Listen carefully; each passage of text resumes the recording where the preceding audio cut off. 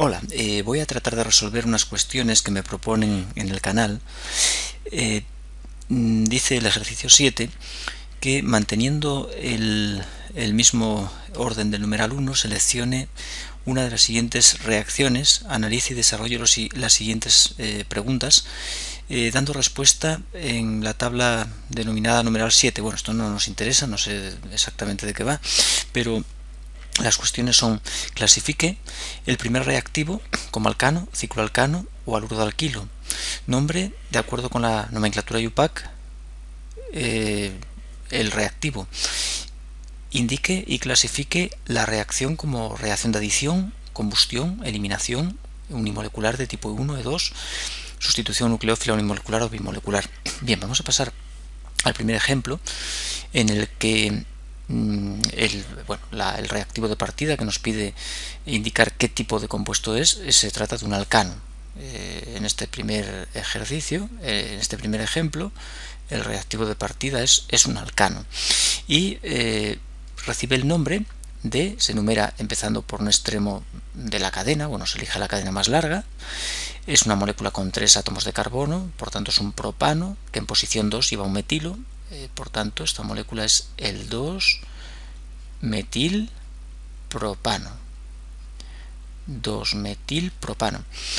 Y eh, sufre una reacción en la cual se convierte en CO2 y agua. Esa reacción se llama reacción de combustión. Es una reacción de combustión en la que quemamos el 2-metilpropano.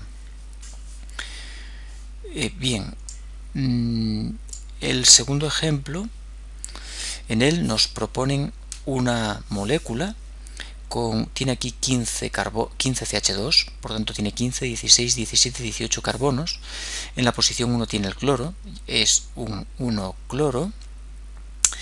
Y con 18 carbonos, mm, bueno, es un alcano, mm, perdón, lo primero, se trata de un aluro de alquilo o aloalcano. Aluro de alquilo o bien aloalcano y es el 1 cloro 1 cloro e octa, octadecano es el 1-cloro octadecano. 18 es el octadecano. 1-cloro octadecano.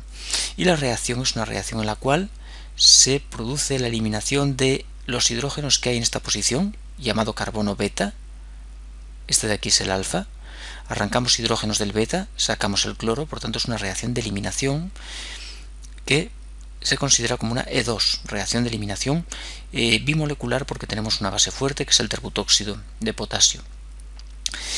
Mm, bien, eh, estamos ante un alcano, en el tercer ejemplo, eh, perdón, perdón, estamos ante un cicloalcano, cicloalcano, alcano cíclico, se llama ciclopropano, ciclopropano porque tiene eh, tres átomos de carbono y eh, sufre una reacción en la cual adiciona ácido, ácido clorhídrico. Se abre adicionando la molécula de ácido clorhídrico de, o de cloruro de hidrógeno. Eh, un hidrógeno ahí, el hidrógeno lo adiciona ahí y el cloro ahí. Por tanto, se trata de una reacción de adición. Vamos con el siguiente. Estamos ante un haloalcano, alcano halogenado. Es un halo alcano. Aloalcano. Se llama 1, 2, 3. En 2 hay un bromo y un metilo. 2 bromo, 2 metil, 2 bromo, 2 metil, propano. Cadena principal de 3 carbonos. Es el 2 bromo, 2 metil, propano.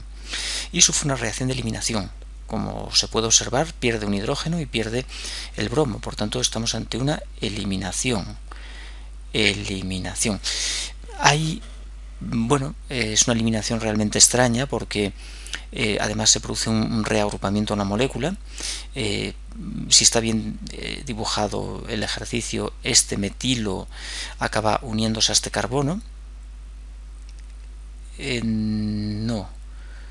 no, ese metilo sigue ahí, no, tiene un error. El ejercicio tiene, tiene un error, perdón. Le falta aquí un, le falta aquí cadena. hay un fallo. Ahí le falta cadena, que es esa cadena, no hay. Es una eliminación normal en la que arrancamos hidrógeno de aquí, de 1 y de 3, formando los alquenos correspondientes el alqueno terminal y el interno y le falta le falta ahí una cadena entonces bueno es un aloalcano eh, pero el nombre no sería el que yo indico y la eliminación es de tipo E2 es una eliminación de tipo E2 y el nombre es es un 1, 2, 3, 4, en vez de propano es butano. Es un 2 bromo, 3, 2 metil, 2 bromo, 2 metil butano. En vez de propano es butano. Eh, tiene este fallo el ejercicio, el enunciado. Eh, bien, y por último eh, tenemos aquí un aloalcano, compuesto halogenado, aloalcano o aluro de alquilo. Aluro de alquilo, creo que en el enunciado habla de aluro de alquilo. Eh, y es un 1 bromo 2 metil propano. 1, 2, 3. 3 carbonos en 2 metilo, en 1 bromo, 1 bromo, 2 metil, 2 metil propano. El 1 bromo 2 metil propano. Y con sosa pues se reemplaza el bromo por el OH, es una reacción de sustitución. Es una sustitución. Mm, bueno, dado que el OH es un nucleófilo bueno, debería atacar y reemplazar aquí. Como vemos no lo hace, sino que entra aquí en esta posición y es porque hay una transposición. Y la transposición se asocia a mecanismos de tipo SN1. Es decir, el bromo se tiene que ir, simultáneamente el hidrógeno transpone, forma aquí un carbocatión y ahí ataca el OH. Por lo tanto, podríamos hablar de una sustitución eh, que sigue un mecanismo eh, catiónico a través de un carbocatión de tipo SN1. Eh, aquí abajo tenemos otro, otro ejemplo, otro ejercicio, en el que bueno, nos dice que, mm, que expliquemos por qué la conformación de silla es más estable que la de bote.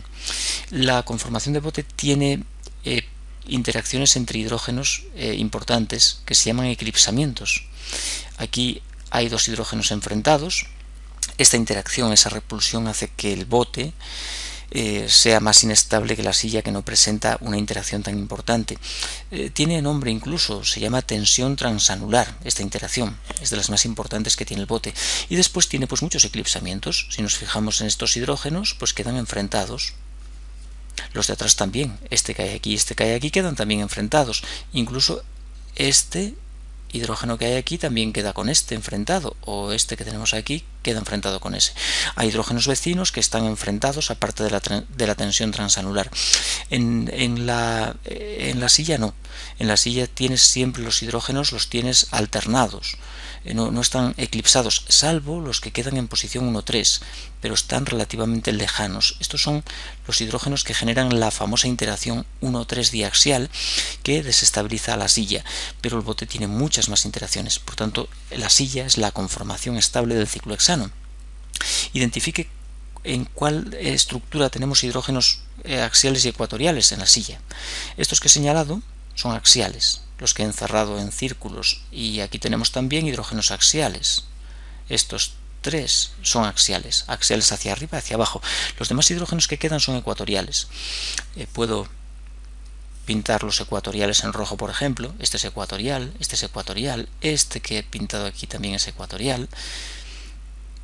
Eh, aquí otro ecuatorial, otro y otro. Seis ecuatoriales, seis axiales. Bueno, eso es todo. Espero haber ayudado algo con, con estos eh, comentarios.